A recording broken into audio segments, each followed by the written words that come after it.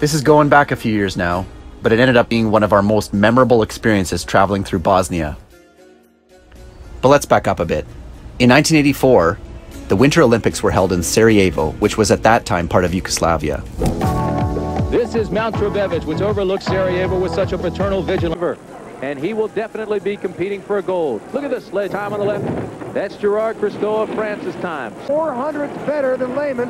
Boy, and it's hard to figure out where he made up that 400.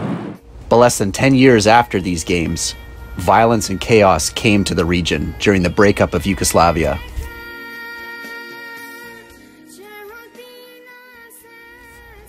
Walking around Sarajevo 20 years after the war, there are still signs everywhere of a city that was absolutely destroyed during the longest siege in modern warfare. Right on the pavement here, you can see where a bomb exploded and the, the shrapnel went out everywhere. It's been 20 years since the war, but there's still these reminders of buildings that were destroyed, like this hotel, that you never forget.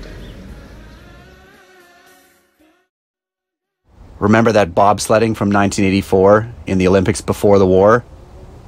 We headed up into the hills above Sarajevo to check it out. We are way above the town of Sarajevo in the hills. Come to find something special today. We are at the ruins of the 1984 Sarajevo Winter Games, and this is the bobsled luge course. Over there's the bleachers right there.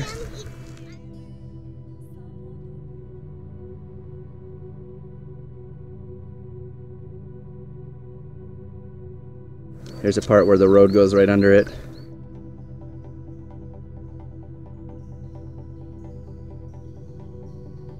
One amazing part of it is this is just in the middle of the forest, so it's such a nice setting. This section's really disturbing. It looks like people have cut holes to make sniper positions because the road goes right past there. This is definitely the section of the course that is the most colorful. There's the finish line. Walking down to the city. Hiking from central Sarajevo to the bobsledding course and back is definitely off the beaten track and makes for a great adventure.